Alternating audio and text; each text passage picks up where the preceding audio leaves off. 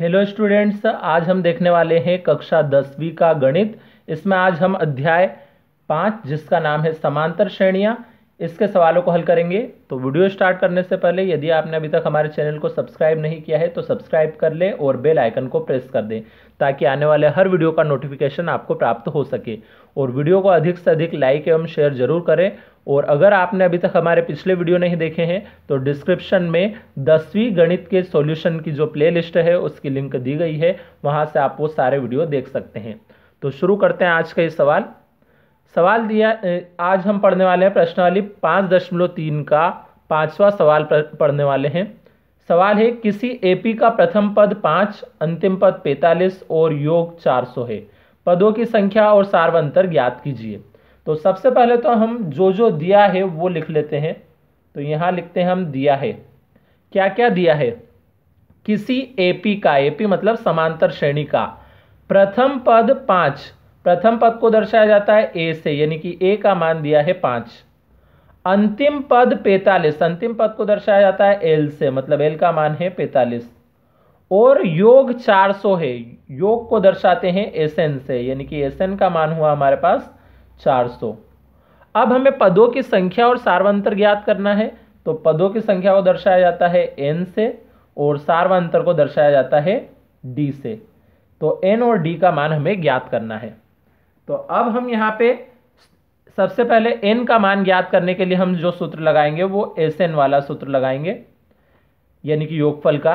योगफल के दो सूत्र होते हैं। एक तो बड़ा सूत्र हम पहले सवालों में लगा चुके हैं एन बटे दो, two a plus n minus one into d वाला।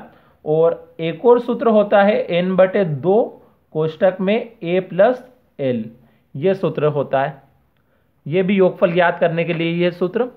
अब ये सूत्र कब लगता है वैसे? जब एल का मान हमें पता हो, तब ये योगफल ज्ञात करने के लिए सूत्र लगता है। तो यहाँ हमारे पास एल का मान पता है, इसलिए हम इस सूत्र का इस्तेमाल यहाँ कर रहे हैं। अब मान रखते जाएँ एस एन की जगह रखा हमने ये 400 बराबर एन का तो मान ज्ञात करना है तो एन बटे दो। कोष्टक में ए ए का मान है हमारे पास पाँच, ये। प्लस एल एल का मान है ये पैंतालीस। अब इस दो का तो हम 400 में गुणा कर देंगे तो ये तो हो जाएगा 800 बराबर में क्या बचा? आप सिर्फ़ यहाँ पे एन बचा और गुणे में ये पाँच प्लस पैंतालीस कितना हो जाएगा? पचास।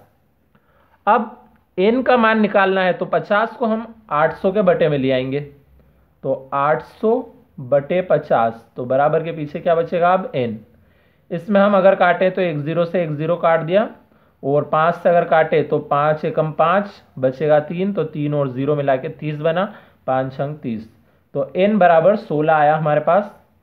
तो ये एन का मान तो ज्ञात हो चुका, यानी कि एक आंसर तो हमारा आ गया।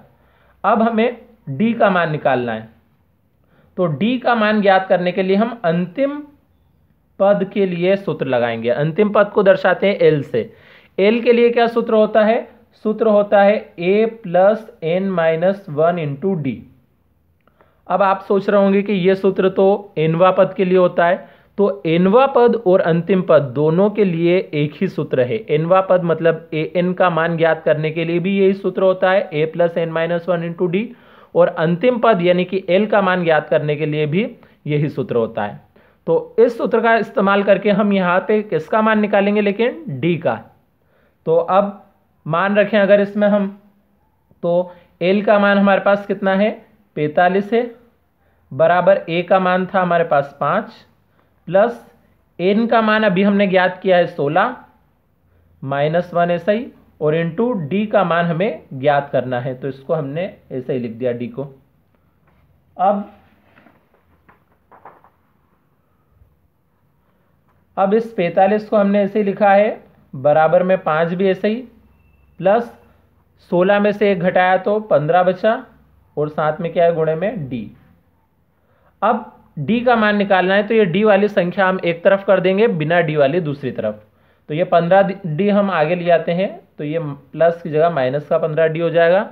और बराबर के पीछे पाँच तो पहले से ही इस पैंतालीस को पीछे ले आते हैं तो ये प्लस की जगह माइनस का हो गया। अब ये माइनस पंद्रह डी बराबर। इन्हें घटाएँगे हम तो बचेगा चालीस, लेकिन बड़ी संख्या माइनस की थी, इसलिए ये माइनस का रहेगा। अब माइनस से माइनस को तो हम कैंसिल कर देंगे। तो डी बराबर हमारे पास बचेगा चालीस और ये पंद्रह ले आएँगे चालीस के बटे में। अब काटें यदि हम तो पाँच से कटेगा ये, पाँच दिया पंद्रह और पाँचों अठो चालीस। तो डी बराबर आया हमारे पास आठ बटे तीन। तो ये डी का मान यहाँ पे ज्ञात हो चुका हमारे पास। तो एन का मान सोलह आया था और डी का ये आठ बटे तीन। तो अब आखिरी में हम आंसर लिख लेते हैं। अतः एपी के पदों की संख्या सोलह व सार्वंतर कितना है? सार्वंतर आठ बटे तीन है। ये आंसर आ चुका हमारा। तो आप चाहें तो आप इसका स्क्रीनशॉट ले सकते हैं। पहले यहाँ तक स्क्रीनशॉट ले लीजिए। फिर ये बचा हुआ हिस्सा। और फिर ये लास्ट की कुछ स्टेप है। तो अब अगले सवाल के लिए मिलते हैं अगले वीडियो में। तब तक के लिए धन्यवाद।